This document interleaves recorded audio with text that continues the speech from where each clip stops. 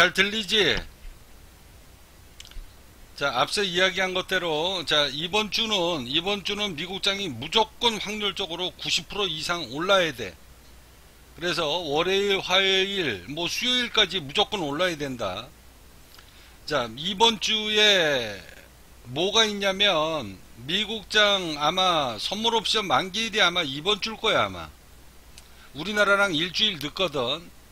그래서 목요일에 아마 선물 옵션 만기인가 아마 그런 것 같은데 내가 확실하게는 잘 모르고 아마 아마 대충 아마 그 정도 아마 될 거다. 그래서 이번 주에 무조건 반등권이 왔다가 확률적으로 90% 이상 반등이 와야 돼. 자, 90% 이상 확률이 와야 되는데 오늘 야간장에 만약에 깨고 내려가면 이거 사태가 굉장히 심각해지는 거야. 무슨 말 무슨 말인지 알지? 그래서 아직 마지막 댐 하나는 남았다. 마지막 댐 하나는 남았는데 그 마지막 하나 댐에 이제 희망을 이제 갖고 어 기다려 봐. 아직까지는 우리나라 짱이 미국 짱하고 디커플링이 나오고 있기 때문에 굳이 익절 칠 필요가 없다는 거지. 그래서 나도 익절을 안 하는 거야. 그 대신 이제 언제든지 이제 하락장이 올 것을 이제 예측을 하고 어, 포지션을 이제 반대 입장을 주가가 많이 올라올 때마다 급등할 때마다 아무 구간이나 들어가는 게 아니라 어, 포지션 전략을 이제 짜고는 있는데 자 이번 주에 미국장이 목요일날 금요일날 다시 추가 반등을 하느냐 아니면은 추가 급락을 하느냐 아, 그 중대한 구간이 아마 이번 주에 아마 나오게 될 거라고.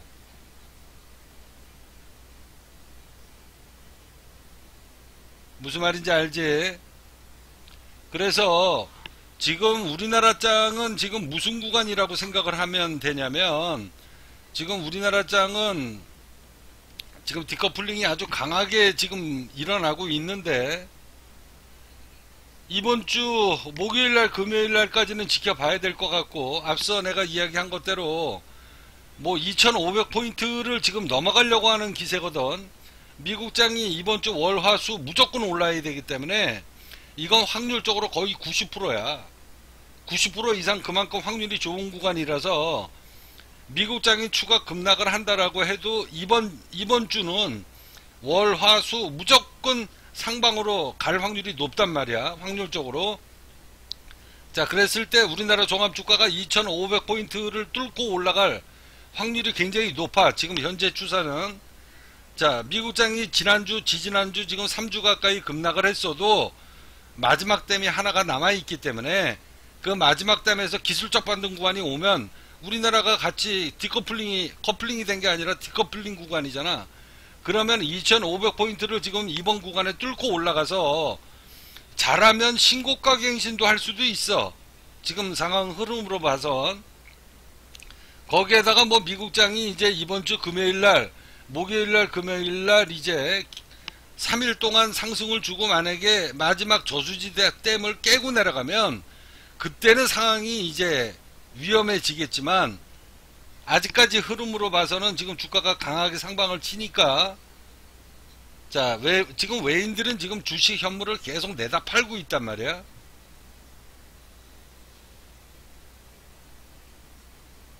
자, 그래서, 어, 이번 주에 변동폭이 아마 목요일날, 금요일날 이후로 다시 추세가 어디로 갈지 결정이 나는 구간이니까, 어, 성급히들 갖고들이 있는 주식들 정리들 하지 말고, 조금씩 조금씩 기다려 봐라.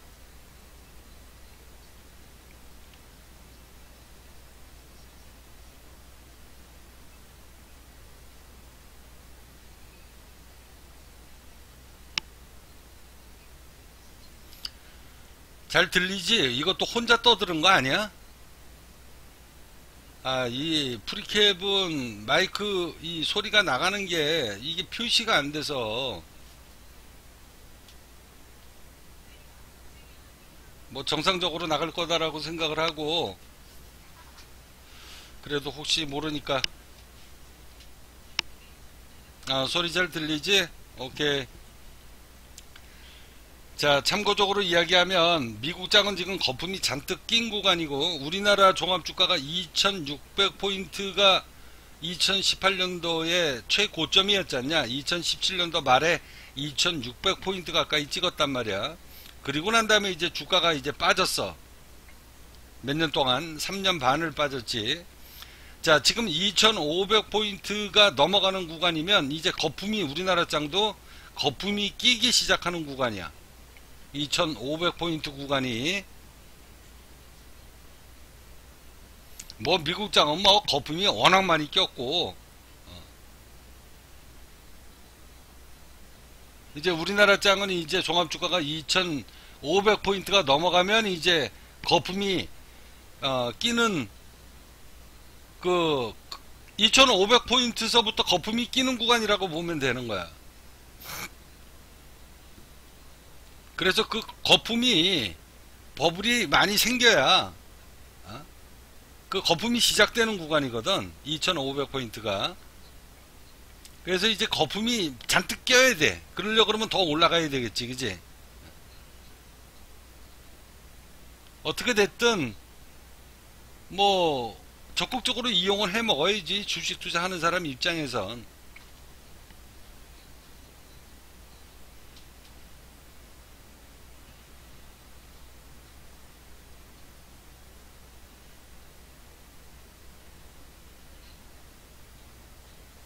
자, 우리나라 주식이 싸다 싸다 그런 얘기들 많이 하잖아.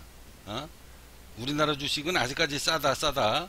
그 거품 구간이 2500포인트부터라고.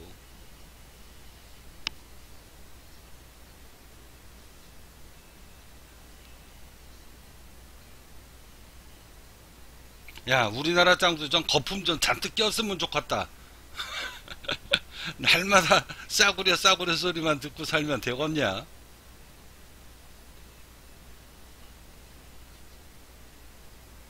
아무튼 어떻게 됐든 거품이 잔뜩 껴야.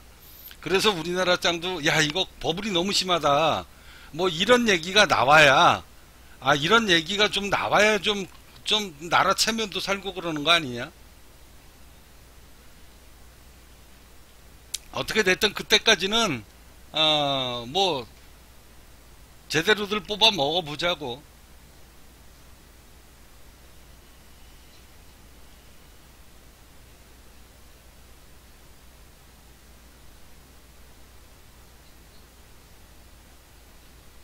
이제 이제 생각은 내 생각은 그래.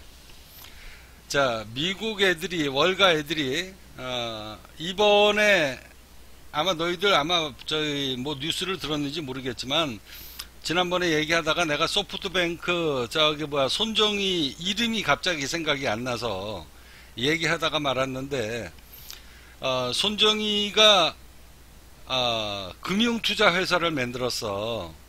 어, 너희들 아마 방송 아마 방송이나 뉴스 들어가지고 아마 알 거야. 한번 자리 한번 찾아볼까? 유튜브에서 이렇게 찾아보면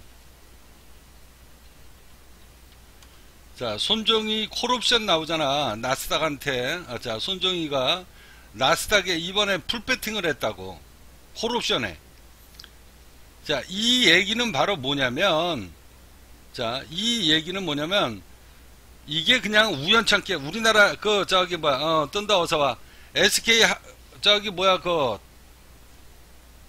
SK 그 대표 누구지? 아 갑자기 이름이 이렇게 생각 안 나냐. 그최최 누군가 있잖아. 어, 최태원이 최태원이가 옛날에 선물 옵션 해가지고 천억 넘게 날렸잖냐. 어? 근데 이제 이 손정희는 아예 금융투자회사를 차렸다니까. 그래서 얘가 월가하고 지금 치고받고 싸우는 작업이 들어간 거야. 그래서 지난번에 그 테슬라서부터 시작해가지고 테슬라가 뭐 1800달러인가까지 막 치, 막 치닫기 시작을 했을 때 얘가 뭐 몇 조 원을 콜옵션을 갖다가 풀배팅을 한 거야. 그래서 개인적으로 거래를 한 게 아니라 아예 금융투자 회사를 차렸다고 얘가. 그러면 이거는 월가에 대한 도전이거든. 무슨 말인지 알지? 월가에 대한 도전이 들어간 거야. 그래서 이번에 급락장이 나온 거야. 얘가 콜옵션을 배팅을 하니까 월가에서는 하락장에다가 배팅을 한 거지. 그게 얘가 금융회사를 차려가지고 이 정보가 안 빠져나갔어야 되는데 이게 세상에 공개가 된 거야. 이건 비밀이거든. 그렇지 않니? 내가 금융투자 야 몇 조 원을 4조인가 5조를 갖다가 매수를 땡겼는데 그게 바깥으로 노출이 된다? 이거는 작전이 노출이 되는 거잖아. 근데 이번에 종합 그 이제 막 미국장이 막 급등을 할 때에 얘가 콜옵션 콜옵션으로 막 매수를 땡겨가지고 주가가 막 급등을 한 거지. 그러니까 월가 입장에선 얘하고 손을 맞잡을 일이 없잖아. 그래서 이번에 이제 강하게 이제 하락장이 이제 어, 터지게 된 건데 아무튼 앞으로 이 손정희가 금융투자 회사를 차렸기 때문에 이거 아주 심각해 상황이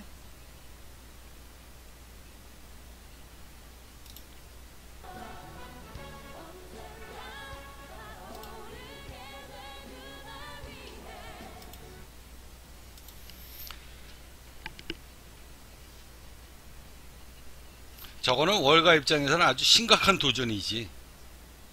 자기네들 맘대로 갖고 이렇게 주물러 써야 되는데 주물러야 되는데 뭐 몇 조 원을 뭐, 막 그냥 어, 배팅을 상방에다가 배팅하는 어, 거대한 손이 나오니까 월가 입장에서는 이거 반갑지 않지.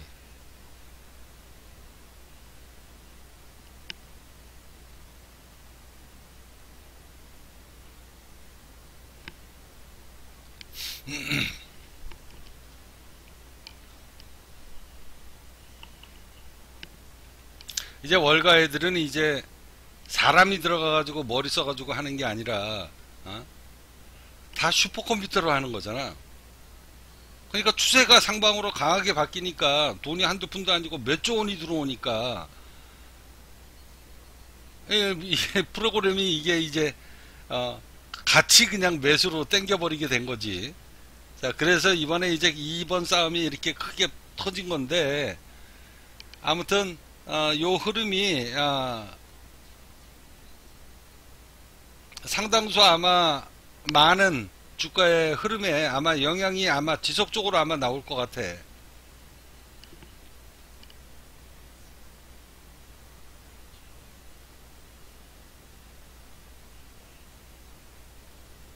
그냥 단순 이슈로 아 저 사람이 콜옵션을 그냥 샀구나 사람들은 그렇게 생각을 하거든.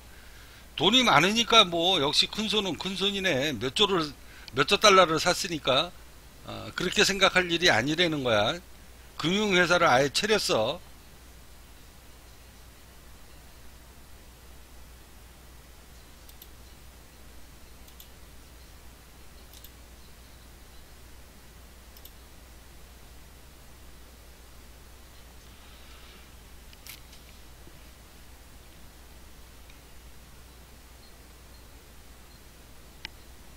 자 어떻게 됐든 뭐 이번 주에 어, 이번 주 뭐 지나가면은 벌써 20일 가까이 되고 이제 나머지 한 주밖에 안 남았고 그렇게 따지면은 미국 대선이 한 달 지금 10일 정도밖에 안 남았고 어, 이번 주에 해외 선물 미국장 만기일이고 토, 아마 목요일 날일 거야 아마. 똑같이. 아, 만기일이고. 그래서 이제 마지막 댐 하나가 남았으니까 그 마지막 댐이 아, 이번 주 목요일이니까 아마 월화수는 강하게 일단 상방을 쳐, 쳐줄 확률이 90%라는 거야. 근데 이게 깨지면 이게 깨지면 이제 골치 아픈 거지. 마지막 댐이 무너지면 그래서 마지막 댐은 아주 강한 힘을 갖고 있는 거기 때문에 그 강한 힘을 갖고 있는 구간에서 무조건 올라와야 되거든. 빠져도 그래서 그 희망이 남아 있으니까 굳이 어, 익절 칠 필요 없고 끌고 가라.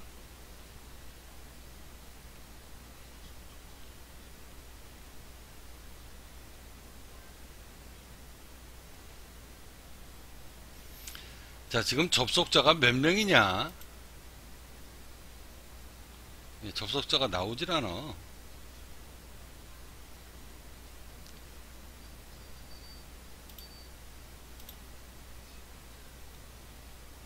아, 지금 4명 있네, 4명.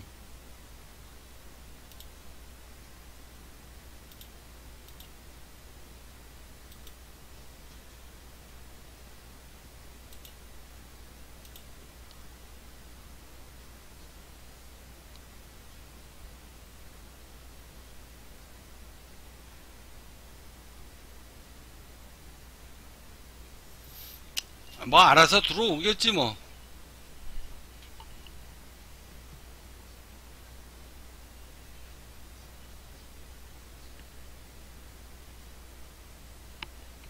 하여튼 눈치들도 웬만큼 없어. 아, 근데 이게 저기 뭐야, 아, 얘네들이 라이브 채널이 4개로 설정이 돼 있거든. 프리캡이. 그래서 오른쪽 왼쪽 거 저기 뭐야, 그 화살 표시 있잖아.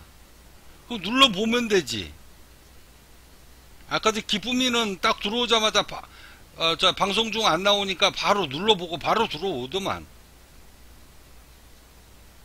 하여튼 눈치 있는 애들이 있고 없는 애들이 있어요. 그 화살 표시 있으면 눌러 봐야 될 거 아니야.